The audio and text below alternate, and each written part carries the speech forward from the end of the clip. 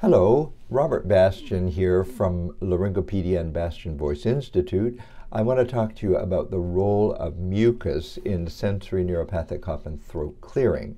Now, I'm imagining that a lot of people watching this video are already familiar with the idea of a neurological disorder, a sensory neuropathy, and the uh, idea is that there's a sudden tickle, a sudden dry patch, a sudden pinprick, a feeling of inhaling dust or a dripping mucus sensation or sudden congestion, any kind of sensation that initiates a coughing. Uh, it's a zing of a tickle or a zing of a pinprick or a zing, and away they go, either coughing or throat clearing. So I'm assuming everyone kind of understands that idea that this can be a sensory neuropathy, and the treatment needs to be for the sensory neuropathy. Uh, not we don't treat the uh, uh, we don't remove pins or, or whatever. So uh, the idea is uh, that the, the, we have to understand that the, it's the sensation, not the thing that we're, we're interpreting as being there, but it's the actual sensation. Uh, so, in other words, if I see somebody who says, Oh, doctor, it's like there's a feather in my throat, and it's suddenly there, if I say to them, Well, do you think there's an actual feather there? They'd say, Well, no, of course not. If I say to them, You said there's like this little tiny square of sandpaper. Do you think there's actually sandpaper in your throat? They'd say, Well, no, no, I'm just telling you it's like there's sandpaper. It's a feeling of sandpaper. If I said, Well, how about a, that person with the feeling of a pinprick? Do you think there's an actual pin in your throat? They'd say, Well, no, doctor, I don't believe that. I just think it feels like there's a pin. And same thing for dust. If I say to them, well, you know, this, this dripping, this sensation of dripping, do you think there's actual dripping or is it just the sensation of dripping? They look at me like, what kind of question is that? They say, well, of course, it's mucus. Uh, it's, it's mucus. I can feel it. It's dripping mucus. So the reason they are committed to that, that interpretation is that we know pins and feathers and dust and things are not in our throats, but we also know that mucus is in our throats. And so when we have that perception of mucus, we just go directly to the idea that of course it's mucus. Same thing for the person who says it's like there's suddenly a, a lot of mucus in my throat, that congested feeling, and I have to cough. So this is the problem. So let me give you some possible scenarios uh, of mucus and in relation to coughing. Let's look at the person with pneumonia or COPD. They have a lot of mucus. It's, they, they are overproducing mucus. And so they, of course, have a sensation of mucus, and of course, they cough, and mucus, mucus uh, results. They can spit it out. So that's not the kind of mucus problem that we're talking about, the mucus perception we're talking about. That's actual mucus. Well, here's a second scenario where the person says, Oh, doctor, I get that dripping, I cough and cough, and half the time it's dry. I never produce any mucus. And so sometimes they'll say, Can't you give me something to get the mucus up? And then I point out, Well, you've been on six mucus medicines and it hasn't helped. So that's one uh, scenario. The second scenario is, though, even more difficult because the person says, "Oh, I get the dripping, or I get that that congested feeling, and oh, I start to cough, and I cough, and I cough, and I cough, and after 20 or 30 seconds, I bring up a lot of mucus, and can't you give me something to get it up sooner so that I can stop coughing?"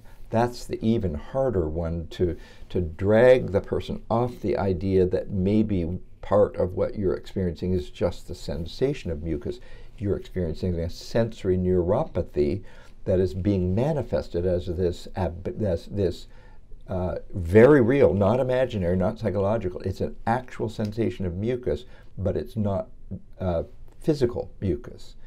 So that's the problem.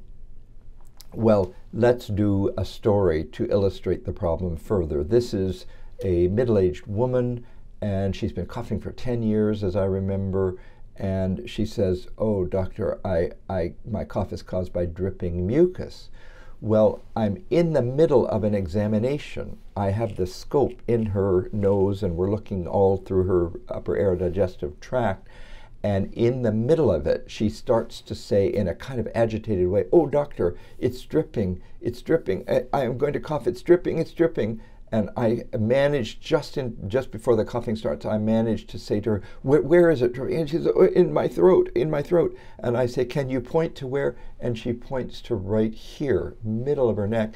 And that lower right picture is where I'm looking and I don't see any dripping. And by the way, I've passed through her nasopharynx, and when we have a cold, we've all had that experience of dripping mucus during a cold or whatever. So that mucus doesn't just materialize in our throats, it comes from our noses and it drains backwards. And so I'm interested that her nose is pristine.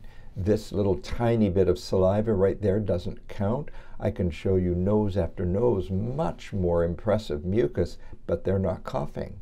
And this person is coughing, and she has a very unimpressive nasopharynx. The, the train doesn't materialize right at the at the train station, it has to come down the tracks. And so I'm looking down the tracks and I'm saying, I don't see a train coming. Uh, and then I'm looking in the throat, and now she begins to cough, and I keep watching for some dripping or some mucus, and it never occurs. And so you see, there's an example of the person has this profound sensation of mucus dripping, but there's nothing, no actual mucus. There is a very real, not imaginary, there's an absolutely real sensation of mucus, but there's no actual mucus. And that explains why she's been treated to the moon and back for mucus, and it's no, nothing has helped her. Here's another one. This is a young man, uh, I think 30 ish, and his story was that he would cough aggressively every few minutes. And I don't want to break your eardrums, but let me, I, this is exactly what it was like. He would go, so there was a lot of voice in it too.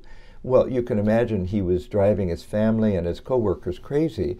So I said to him, why, why are you doing that? He said, well, because there's mucus. And he pointed to the very central upper chest, just below the throat. He said, there's mucus. And he pointed there.